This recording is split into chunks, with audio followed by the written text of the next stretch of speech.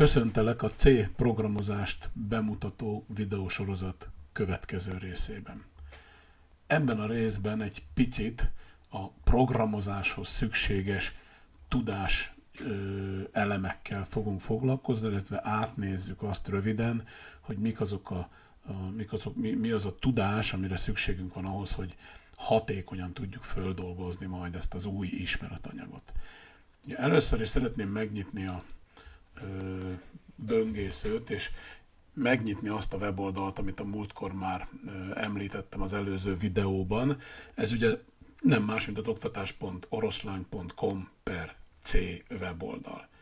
Ezen a weboldalon most a kicsit lejjebb görgetnék, és itt az úgynevezett előadások, segítségek és házi feladatok részhez részre hívnám fel a figyelmeteket. Ebből is az első dolog, amivel most foglalkozni fogok, és a mai órán ezt fogjuk átnézni egy picit, ez az előadások. Itt látszik, hogy néhány előadás anyaga már elérhető. Én kérlek benneteket, hogy ne ugráljatok ezek között, és ne is dolgozzátok fel addig, amíg a, a videóban lévő anyagokat át nem nézitek, és meg nem nézitek, mert enélkül nehezen lesz érthető az egyes foglalkozásoknak, egyes előadásoknak az anyaga. No, Kezdjük a bevezetéssel. Ugye az előző videónk az a bevezetésről szólt. Ugye látszik, hogy ezek PDF dokumentumok. Tehát elvileg az első óra az arról szólt hivatalosan a, a nappali képzésen, hogy mi ennek a képzésnek a feltételrendszere, mi az, amire szükségünk lesz a tanulásához. Ezt érdemes átnéznetek, érdekes átolvasnatok, hogy azért lássátok, hogy körülbelül milyen peremfeltételek mellett működött ez az oktatás. Második, és ez már tényleg a valódi új információk, illetve pontosabban azok az információk, hogy mik szükségesek a, a, a C programozási nyelv elsajátításához. Ugye először is van egy pár olyan alapfogalom, amelyet fontos ismerni és fontos tudni. Ugye a számítástechnikáról lévén szó, nagyon fontos tudnunk az, hogy mi az a Neumann elv. A Neumann elvnek én igazából most csak egyetlen elemét emelnék ki, ez pedig a több célú felhasználhatóságnak a biztosítása. Ugye a különböző alkalmazói programok teszik lehetővé a számítógépek esetében azt, hogy mi bármilyen célra felhasználjuk azt a gépet, amit egyébként Neumann elvű számítógépnek nevezünk. A C programozási nyelv az egyik lehetőség arra, hogy mi saját alkalmazói programokat készítsünk, és ezáltal univerzálissá tegyünk egy számítógépet. Ugye ennek megfelelően nem árt tisztában lenne azzal sem, hogy a Neumann féle számítógépnek mi a, milyen felépítésű egy ilyen Neumann féle számítógép. Ezeknek az ismereteknek, itt majd mindegyiken végigmegyek, de ezeknek az ismereteknek a átismétléséhez, feldolgozásához, esetleg ha nem, nem vagyunk a birtokában ezeknek, ennek a tudásnak, akkor a Wikipédia az a hely, ahol ezeket az információkat képesek vagyunk összeszedni. Például itt ugye megnyitottam most a hivatkozás alapján, bocsánat, vissza is nyitnám ezt az oldalt, tehát a hivatkozás alapján én megnyitottam ezt a weboldalt, ugye a Neumann elvnek megfelelő számítógépnek a, az architektúrája ugye itt látszik, és hogyha valaki nincs tisztában Neumann elvel, akkor ezt a pici kis rövid ö, leírást itt elolvassa, és akkor ennek alapján meg fogja érteni, hogy mi az a Neumann fél, mi az a Neumann elv, és hogy néz ki ez a számítógép, ami ennek az elvnek megfelel. Jó, tehát ezt így próbáljátok megkezelni, ezt a, ezt a dokumentum listát itt. Nagyon fontos, mivel a számítógépek ugye különféle számrendszereket használnak, ezért nagyon fontos megérteni, hogy mi az a bit, és tudni, hogy mi az a bit és mi az a byte. Ugye a számítás technika enélkül a két fogalom nélkül nem létezik. Ugye a bit az az, az alapegység, ami az információnak a, az alapegysége. Ugye ez tulajdonképpen egy két állapotú valamilyen, bármi, ami két állapotú, egy jel például, ugye van áram, nincs áram, mal szokták ezt leggyakrabban szemléltetni ugye ez egy két állapotú valami, valami vagy igaz, vagy hamis. A byte ugye már az adattárolásnak az alapegysége, és a bit és a byte ketten együtt határozzák meg a kettes számrendszert, vagy bináris számrendszert. Ennek ezzel a számítástechnikában nem csak a C programozási nyelvű számítástechnikában tisztába kell lenni, hogy mi ez a kettes számrendszer, jó? A C programnyelvben is és a számítástechnikában is fontos még a 16-os számrendszer, úgyhogy kérek mindenkit, kérlek téged, hogy ezt nézd át, és próbáld meg megérteni a 16-os számrendszert, fogjuk használni a C programnyelv elsajátítása során. Nagyon fontos dolog, hogy hogy tudunk átváltani a különböző számrendszerek között, úgyhogy légy szíves ennek a gyakorlatát is próbáld meg elsajátítani, és valahonnan, ha nem rendelkezel vele, akkor ezt valahonnan meg kell tanulnod, gyanítom, hogy az iskolában. Számítógépek fő részei, ezek nagyon fontosak. Ugye a programozás szempontjából a legfontosabb alkatrészek vagy főrészek, ugye a monitor vagy a megjelenítő, ahol az információinkat megjelenítjük, a billentyűzet, ugye ahonnan az adatainkat alapértelmezés szerint a felhasználótól beolvassuk, illetve a különböző adattároló egységek, amelyek ugye értelemszerűen a tárolt adatokat majd, illetve tárolják az adatokat, és ezeket a tárolt adatokat mi majd beolvassuk, feldolgozzuk, és újabb más adatok formájába visszatároljuk ezekre a tároló egységekre.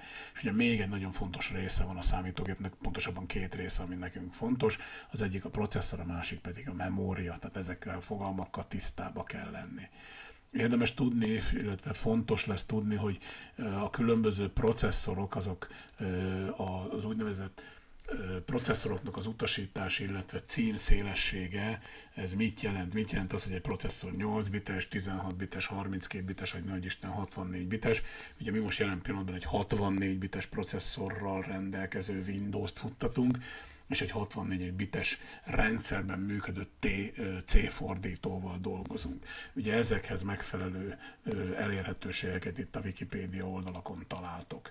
És ugye még egy nagyon fontos dolog, ezek pedig a memóriák szervezése és címzése, ami szintén fontos a C programon nyelv elsajátításához. Ugye korábban a az iskolarendszerű képzésben itt mindig voltak házi feladatok. Ebben a videóban én inkább azt javaslom, hogy próbáljátok meg, próbáljátok meg valóban úgy kezelni ezt a videót, mintha iskolába járnátok, és, és ott próbálnátok valóban elsajátítani a C programozási nyelvet. Tehát érdemes utána nézni a számítógép generációknak, és érdemes utána nézni a processzor típusoknak, éppen azért, hogy a C nyelv használata során ezek az ismeretek a rendelkezésünkre álljanak. Én a nappali tagozaton azért erre két órát szántam, ugye látjátok, hogy egy-két órában ezt megpróbáltam átpörgetni a fejekbe, épp azért, hogy amikor a megfelelő részekkel foglalkozunk, akkor ezek már tiszták legyenek, tehát én kérlek benneteket, hogy ezeket az, ezeket az információkat, ezeket a tudáselemeket, ezeket légy szíves, gyűjtsétek be, és tegyétek a magatokévá mindenféleképpen. Jó.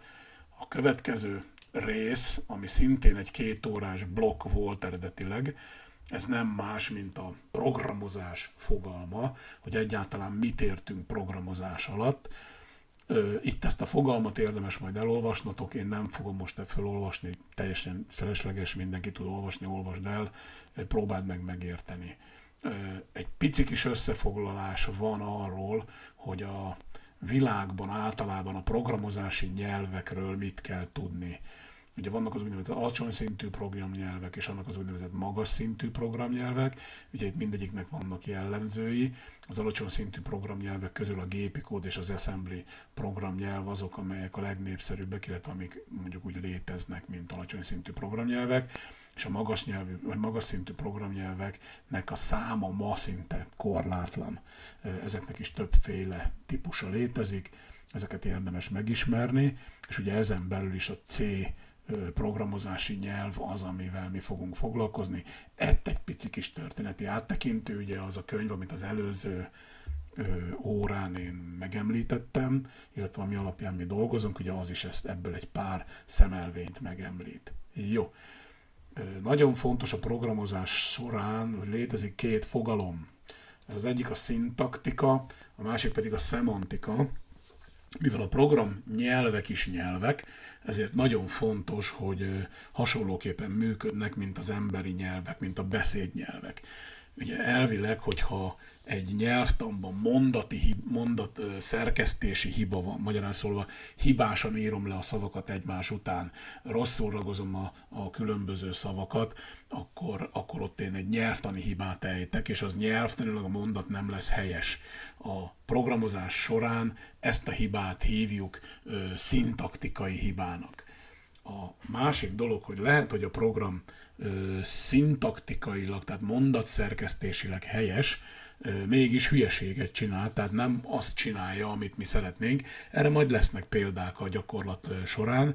Ebben az esetben úgynevezett szemantikai, vagyis végrehajtási hibákat fogunk elkövetni. Ezeknek a, a hibáknak a megtalálása lesz a legnehezebb. A szintaktikai hibát a C fordítók az esetek 99,9%-ában megtalálják és jelzik, hogy probléma van, hogy mit kell javítanunk. A szemantikai hibák viszont sajnos csak akkor derülnek ki, ha mi a programokat megfelelő módon teszteljük, és ennek megfelelően ellenőrizzük, hogy különböző adatokkal a programunk valóban megfelelő módon működik-e. No, a múltkor nem fordítottam túl sok figyelmet arra, hogy hogy lesz a Hello C nevű programunkból, Hello Exe nevű, vagy a Hello C nevű forrás kódunkból, hogy lesz Hello Exe nevű végrehajtható bináris kód. Na itt van egy pici kis ábra, ezt egy picit engedjetek meg, vagy engedd meg, hogy elmagyarázzam. Ugye a körök valamilyen programot jelképeznek, a dobozok pedig valamilyen fájlokat, állományokat szimbolizálnak. A dolog az úgy kezdődik, hogy veszünk egy egyszerű szövegszerkesztőt, vagy szépen idegen szóval editort. Ugye mondtam, hogy a C programozáshoz is, mint a legtöbb programnyelvhez, nincs szükségünk bonyolult editorokra, nincs szükségünk bonyolult szövegszerkesztő programokra, tudni, a programnyelvek zöme az egyszerű formázatlan szövegfájként jön létre. Így jönnek létre az úgynevezett forráskódú állományok, vagyis a valami.c nevű fájlok. Ugye ezeket úgy hívjuk még egyszer, hogy forráskód. Ezeket valamilyen szerkesztő programban hozzuk létre. A következő lépésben az úgynevezett fordító program, vagy idegen szóval compiler, ebből a forráskódból elkészít egy úgynevezett átmeneti, vagy tárgykódot, vagy object kódot, ami tulajdonképpen már majdnem processzor közeli, de még nagyon nem igazából az. Lehetőségünk van arra, hogy ezeket az úgynevezett tárgykódokat, ezeket úgynevezett könyvtárakba gyűjtsük össze, és ezeket későbbi felhasználás során szedjük elő. Majd fogok beszélni a C, az ANSI C programnyelvnek az úgynevezett standard könyvtáráról, a C standard könyvtáráról, ami tulajdonképpen nem más, mint csupa ilyen eredeti C forrás nyelven rendelkezésre álló, és lefordított objektkód, vagyis tárgykód, amik így nevezett, úgynevezett library-be, vagyis ö, eljárás gyűjteményekben, vagy függvény gyűjteményekben vannak összegyűjtve, és ezt az a program használja föl, amit úgy hívunk, hogy összeállító program, vagy linker. Érdemes tudni azt, hogy a Tini C compiler az egyetlen programban mind a compiler, mind a linker, vagyis mind a fordító, mind az összeállító feladatokat elvégzi. Ha én nem mondok neki semmit, csak azt mondom, hogy TCC, és megadom a programnak a forráskódjának a nevét, akkor ő ezt a folyamatot innentől, hogy megvan a forráskód, elolvassa ezt a compiler, átalakítja tárgykóddá, azt odaadja a linkernek, vagyis az összeállítónak, és az egy bináris exekódot csinál bele, ezt a Tini C program önmagában egyedül megcsinálja és természetesen használ hozzá úgynevezett standard C könyvtárakat, abból hoz be majd néhány dolgot, erről később lesz majd szó. És ugye ezt az exe programot tudjuk mi a CPU-nak, vagyis a processzornak odaadni, hogy na akkor ez már az ő számára végrehajtató. A forráskód ez a mi számunkra értelmezhető.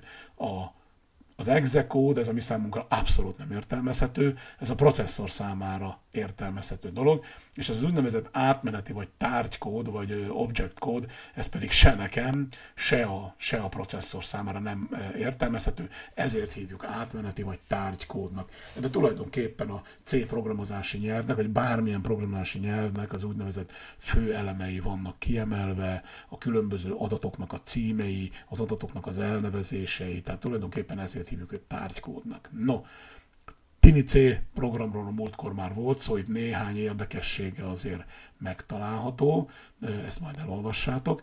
És ugye volt szó a Hello C programról, amit a múltkor már ugye értelemszerűen begépeltünk, illetve hát ugye ellopikáltunk a, a dokumentum, és hát a, a Dennis Ritchie és Brian Kernigan könyv, magyar nyelvű könyvének a megfelelő fejezetéből, ugye értelemszerűen ez az első fejezet volt, ahonnan ezt mi ellopikáltuk, és ugye lefordítottuk, na mindjárt meg is találom, ez így megy tovább, hát ha tudnám, hogy mit keresek, akkor hamar megtalálnám, így is van, itt van, jó?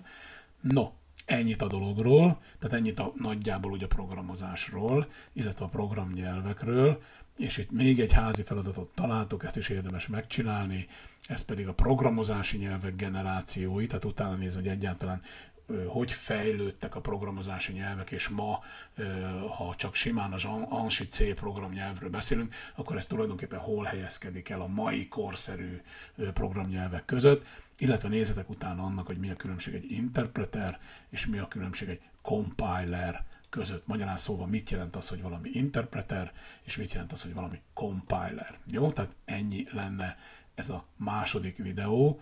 Tehát még egyszer, ebben a második videóban néhány 10 percben, akkor valójában a napi tagozatos ö, oktatási anyagoknak a második, harmadik és a negyedik, ötödik órájáról mondtam pár gondolatot, és mindenkit kérek, aki ezt a videót megnézi, hogy ezeket az anyagokat próbáljátok meg önállóan feldolgozni annak érdekébe, hogy ahhozokhoz az ismeretekhez jussatok, ami később valóban szükséges lesz. Ennyi lett volna már a videó. Én köszönöm mindenkinek a figyelmet.